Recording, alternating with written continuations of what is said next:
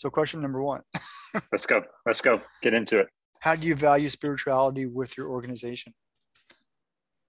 So you want me to respond to these? Yeah, the, these are these are the questions that you wrote that you're looking for your reader to respond to, but you're Correct. the author, and so I need to know what you're thinking and how you're thinking about these questions, because remember, this is about holding somebody's hand. Now, you, you you're Right. the master, but Right. people people typically want to have some type of concrete hand holding experience so that they really understand what it is that you're wanting from. It's kind of the, I'm not even sure what the word for it, from the participants reflection.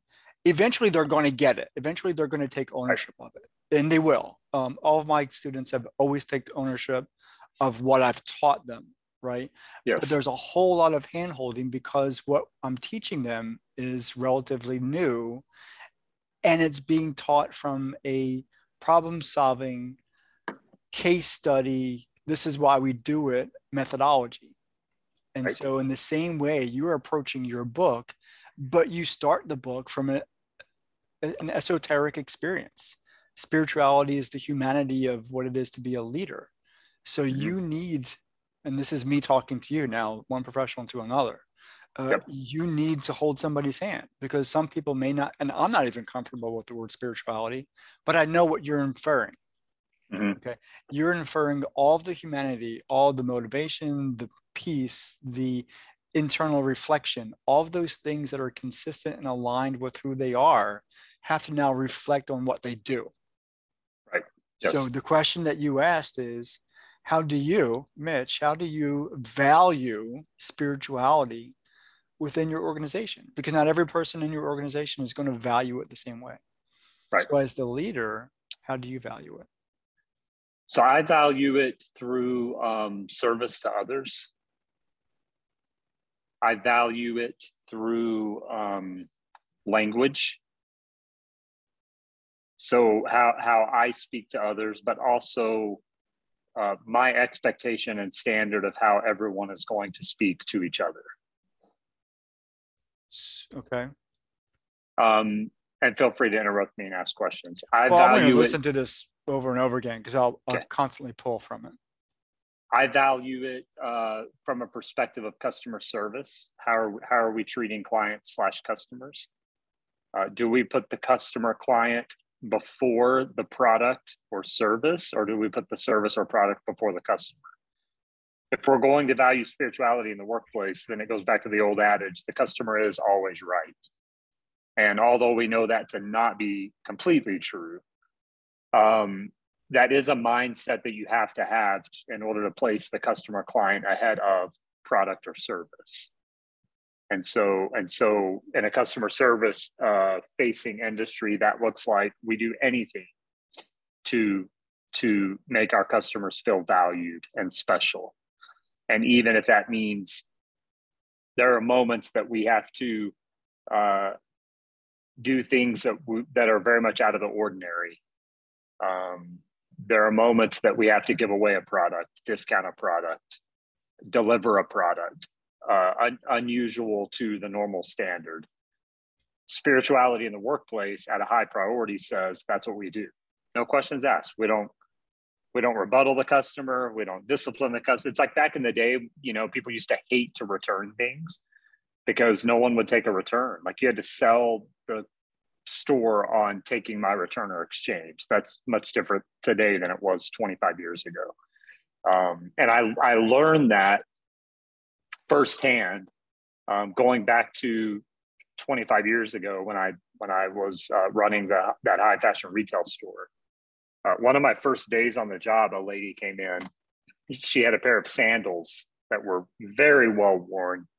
Um, it was a, a high brand, $150 pair of sandals. Doc Martens was the brand.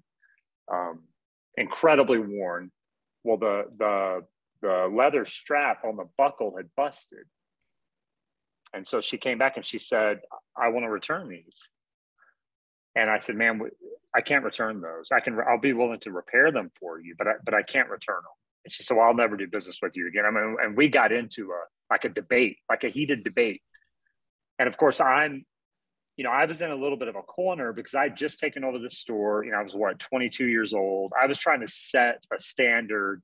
Uh, that store in particular, uh, the last, the previous few years had like 50, 60, 70% loss. So they, I mean, stuff was just running out the right. door. Yeah. And so, so anyway, you know, she, she got pissed. I mean, she was mad and she wa- stormed out and uh, a couple of the other employees that knew her said, "Man, you just messed up. Like she's a high roller. Like she spends money like crazy." I'm like, I don't care. Like this isn't how we're going to function. So a few days later, my district manager uh, called me and he said, "Hey, uh, do you know this customer?" And I said, "Yeah." We had, you know, she tried to return these. I'm not going to return them. And I told him, I said, "You would have never have taken them because I came from his store." And he goes, Well, I don't know, but, but she's pissed, man. Like she came into my store to see me about that new manager in Clovis. And so he was like, Okay, let's think about this for a second. Let's let's use some long-term vision here. Are you better off eating those $150 pair of sandals, knowing that she's a prominent member in the community, she's going to shop, she's going to tell others, or are you willing to risk losing her business and probably others over a $150 pair of sandals. And the funny thing was, his store was located about 90 miles from me. And he goes, Now, believe me, I don't mind if you lose her business because she's going to come shop with me. And so I'll take her if you want to. But he said, just remember the shape that that store's in and what you're trying to accomplish. So, what he was really saying was, if you're going to function from a true place of humanity and spirituality, you're going to sacrifice the $150 to ensure that you do right by the customer. There's no debate, there's no rebuttal. And you know, business leaders will say, well, if we do that, we're going to be returning everything. No, it doesn't work that like like that's like that's like saying you're going to get bit by a shark if you go surfing. Like it's so few and far between, it doesn't happen. Um, and so that's where I really learned over the years that's what i began calling spirituality in the workplace was i'm going to put the customer client first above my product above anything else. And so when you begin to do that that's the value system of spirituality. It it's and i think i say this in the book it's manifested through great customer service. It's manifested through a great experience. It's manifested through um, walking into a place of business or dealing with a person and you can feel their energy jump off the screen or you can feel the energy of the people before you even walk in the store. Um, another adage i always use is you never if, if you drive by two restaurants that are sitting side by side and one of them is full of cars and a line out the door and the other one has nothing and a flickering light which restaurant are you going to go to it's easy. You're going to go to the one that has all the energy because there's a reason they have the energy and the other place doesn't. That is the value of spirituality. And you're right, a lot of people don't term it that, but that's really what it is because as humans, we are spiritual, connected, energetic beings.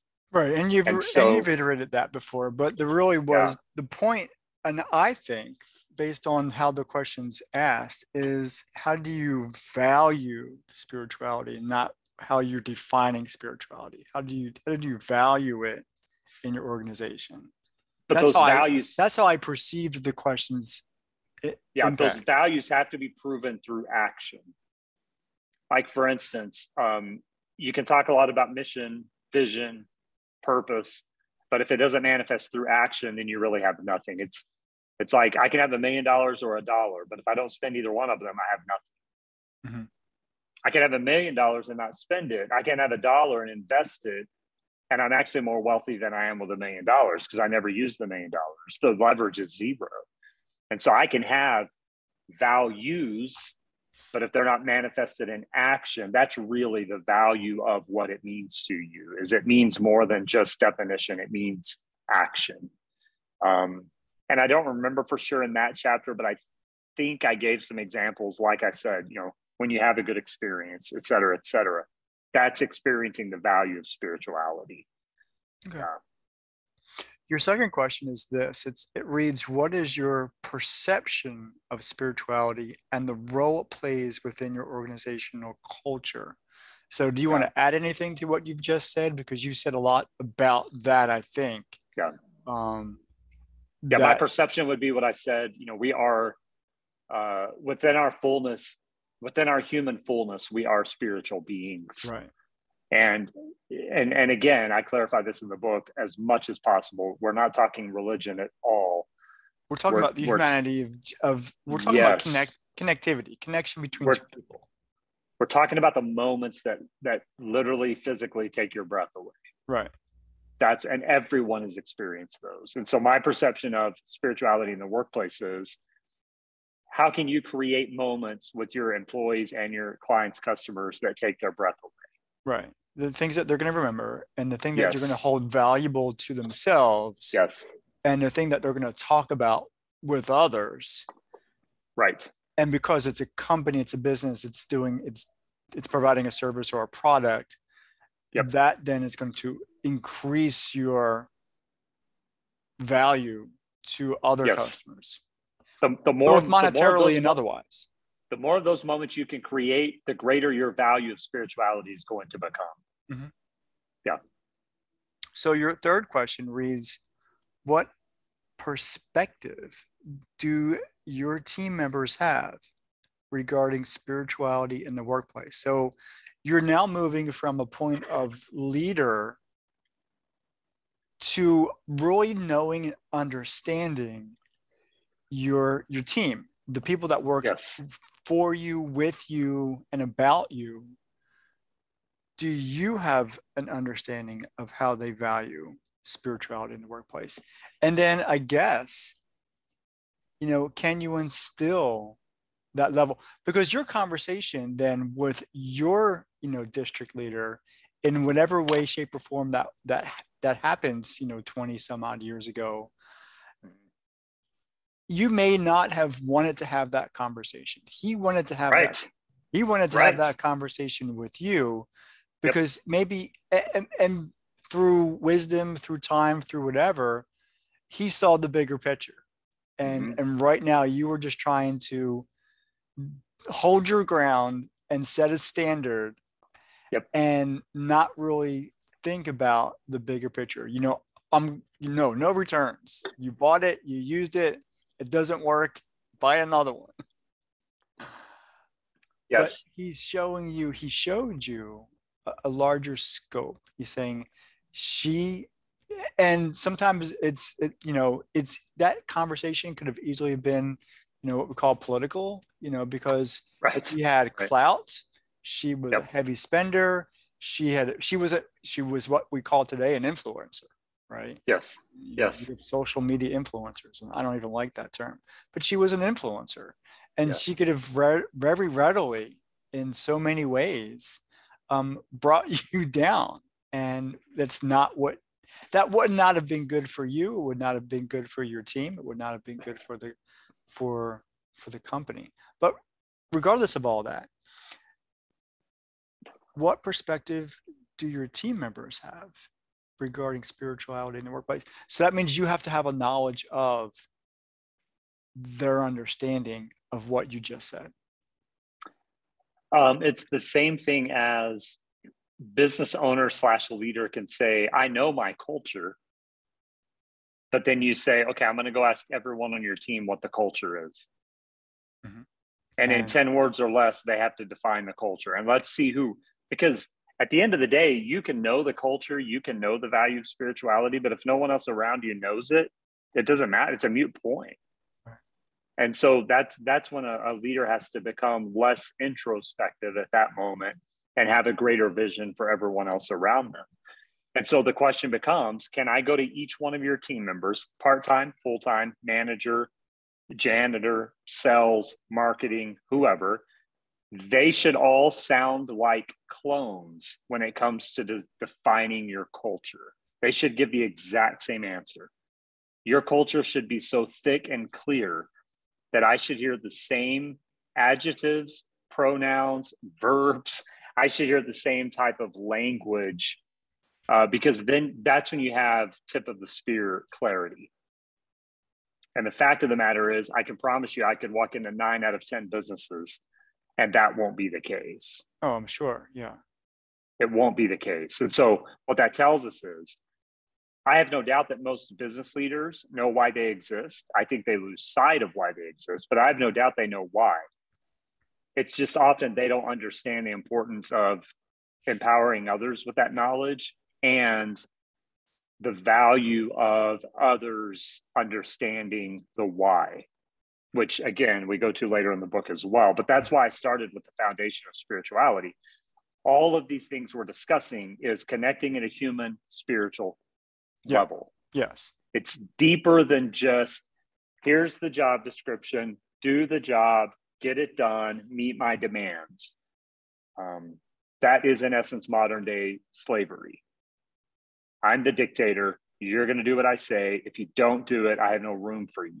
That is that is not that is empty leadership, and it just doesn't work. But unfortunately, what happens with many leaders is they get so overwhelmed and they lose so so much sight of their original passion and purpose that everything just becomes meet the demands, do what I ask, just get the job done. I don't have time for anything else fine. But if that's where someone is, then they've totally lost sight of their beginning, what I like to call their genesis, you know. And, and so oftentimes with leaders, that's why I ask these questions. You know, what what led you to the place that you began this business, accepted this role, whatever it looks like? Hang on to that, and you'll soon soon start to realize uh, that you need to give more knowledge and opportunity to the people around you and because that's a hard question. How, how do your people perceive spirituality in the workplace? And I ask that question knowing most people won't be able to answer. But I also ask the question, planting a seed that someone might go, oh, that's interesting. Maybe we could bring more people to the table. And that's the message through the book. When we get to Culture Design 101, the message, the first step of building great culture is to build a culture team so it's not just you making all these decisions. And so that question opens the book so that people begin going, okay, it's not just about me, it's actually about the people around me, whether that's my employees, customers, clients, whatever. So the because. I could ask another question, I could ask another question, and the other question could have been, how do you think your customers' clients perceive spirituality when it comes to your business? And that's going to a level that 99.9% of leaders aren't even thinking, but it's a level that would change everything. Yeah.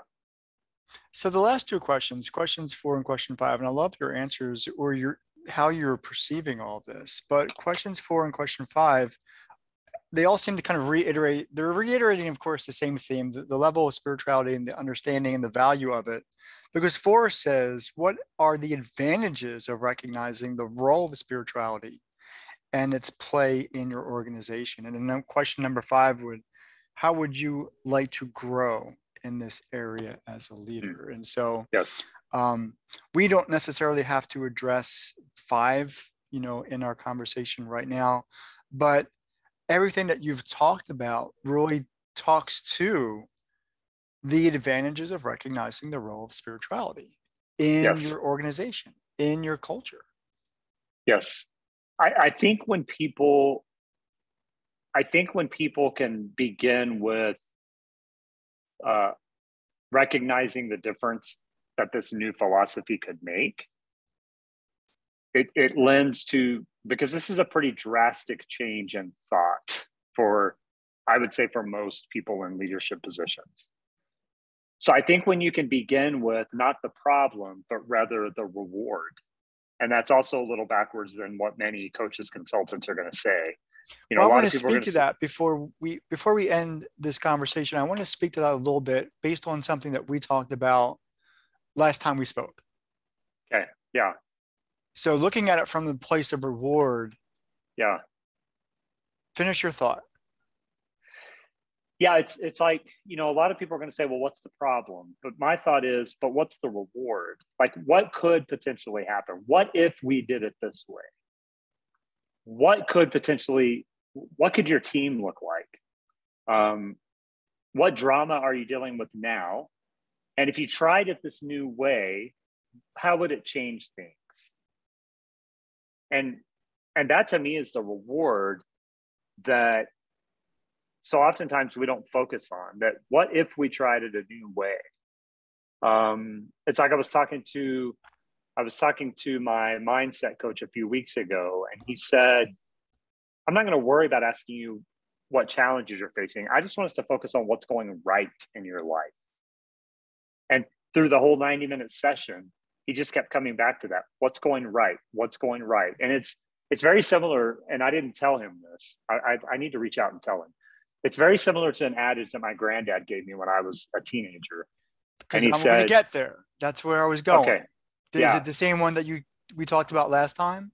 Mitchell? I, I, don't know. I'll tell you what he said. Yeah, Mitchell. Don't Mitchell? worry about teaching your kid. Don't worry about teaching your kids what's wrong. Teach them what's right. And exactly, that was what I was going to go back to. I was going to go back yes. to that very statement because that's what we talked about last time.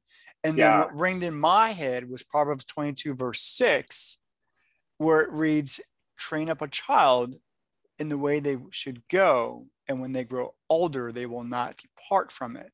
Now, I just kind of made that parallel. You may not have, and that's okay. Some other people would have but the the the impact of that statement is still the same yep drive yep. them in the way they they should think what they should do the positive how they should react the good the right don't tell them all the things that they should be avoiding because then they're yes. going to see those things and they're probably going to be interested why should i avoid yes. this so yes. and i was and that's exactly where i was going to go with you know, before we ended this conversation, was that very statement.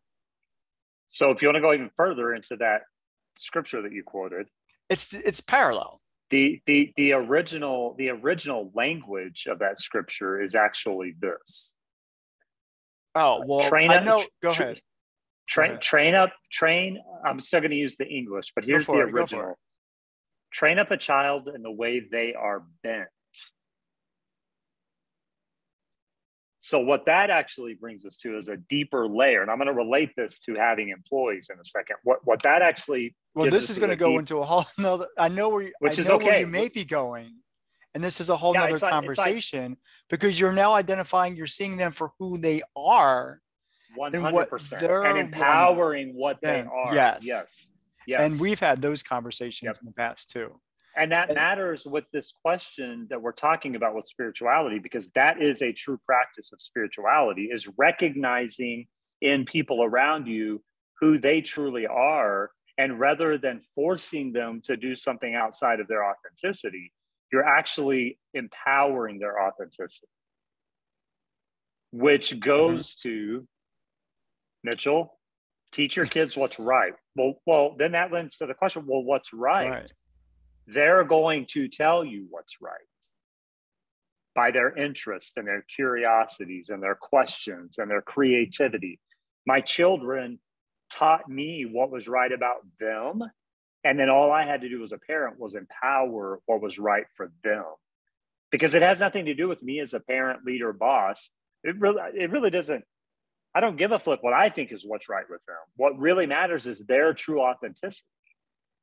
The problem with that is here, here's talking about not identifying problems. We have to identify one, and the and the problem with that is that actually means I have to relinquish control of all of my authority. But that may not be a problem unless is, you hold it, it, it close it, to the vest. It isn't in practice, but it is when I'm an insecure leader. Right. If you if you hold that control close to yes. the vest, then yes. that does become a problem. But and so let's go back to it, let's go back to reward. That's yeah. the reason to me we have to start with reward because most leaders, again, a blanket statement, but I believe it true. Most leaders function from a place of insecurity because they, they don't know, they're ignorant. They've never tried a new way. And so if you can show them the reward, but what if we tried it this way? And here's how things turned out. You actually open the door for them to kind of begin entertaining the idea of a brand new philosophy. And the new philosophy is what we just talked about we have all these people. You're going to hire based on authenticity and alignment. You're going to empower based on authenticity and alignment. And all of that is spirituality and practice. But when you can do that, the reward we know is going to be greater revenue, less stress, greater passion, more opportunity, and you're going to have more business than you know what to do with. That's going to be the reward every single time. And so when you can tell someone, hey, I know you're insecure, I know you don't understand this, but just trust me for a moment. If you do this, it will change the game in a way you never could have changed it before or manipulated it before or controlled it to before. It just doesn't work. That other stuff doesn't work. And people know it. I, I, I don't think leaders are dumb. I think leaders are very intelligent. And I think they know what I what I what I also think is they're ignorant to other opportunity and philosophy and idealism. Because here's the other issue, and we'll get into this later as we go through the book. The other issue is most people in leadership positions have never been taught how to be a true, authentic leader. It's been assumed that they know how to be a true, authentic leader. And so if they've never been taught, then they just don't know. And if they just don't know, then they're ignorant of what else lies ahead. Well, school teaches philosophy and paradigms and things like that. They don't teach spirituality and self reflection and internal processes. So that's no. the disconnect. Yep. Yep. That's exactly right. Yeah, there's just, uh, it's, it's like I was telling my youngest daughter the other day. We were talking about, we were talking about why people have uh, closed-minded belief systems. Basically, is what we were talking about. And she had an experience with a friend, and so we were having this deep. Her and I have deep philosophical conversations constantly. And so I said, you know, it's it's a lot like uh, thousands of years ago uh, some people settled in a little village in a valley surrounded by mountains. And for hundreds of years, they've never left the village. And so the story then becomes we don't go beyond the mountain because it's dangerous. And then a story comes up that someone once went beyond the mountain and they never returned. So we never go beyond the mountain. What they don't realize is the person that never returned never returned because everything beyond the mountain was so far greater and better than the. Than the valley. And if they would have returned, they wouldn't been able to escape again to a world of vast opportunity. And so you have these people that their truth, their God has become the valley. We can't leave the valley. The danger, the devil, the negativity is on the other side of the mountain. Meanwhile, little Sarah, who decided to have the courage to go beyond the mountain, has discovered a world of opportunity that is greater than anything in the other's imagination. But she knows she can't go back because she's in a, so much of a better place and no one will believe her anyway. In fact, it's become so in, ingrained in their DNA that they might even kill her because she betrayed them. And you start thinking about this, and it's like, no wonder people have a hard time raising their eyes and looking beyond the mountain because it's much more comfortable to stay stagnant in the valley and make up stories about how dangerous the mountain really is. When in reality, beyond the mountain is a life more beautiful than they could ever perceive or imagine. And so then the question becomes do we want to try to go beyond the mountain? Because that's where the real beauty lies or are we okay in the valley? And if you're happy in the valley, that's fine. But there's many, many more people, I believe, that want to go explore beyond the mountain. And I told my daughter that story, and she was like, that makes so much sense. People just get comfortable and they stop questioning and they stop rebelling and they stop testing the waters to cross the river to get up to the top of the mountain. And to all of a sudden go, wait, our family's starving for food in the valley? But there's orchards and orchards and orchards and farmland and the ocean and all these resources on the other side of the mountain. Yet they're dying in the valley. And that's how i view leadership often is so many people are so stuck in the valley that someone like me comes along and says hey there's a better way on the other side of the mountain oh we can't go to the other side of the mountain we can't do that because we've put so much money into our crops in the valley because we're the protectors of the river because we just can't do that because Sarah left years ago and never came back. Oh, yeah, I met Sarah. Oh, guess what? She owns half of the world now. she could give you everything you need. I met Sarah. She's doing great. No, Sarah's not a you. That's a different Sarah. And that's how that conversation often goes.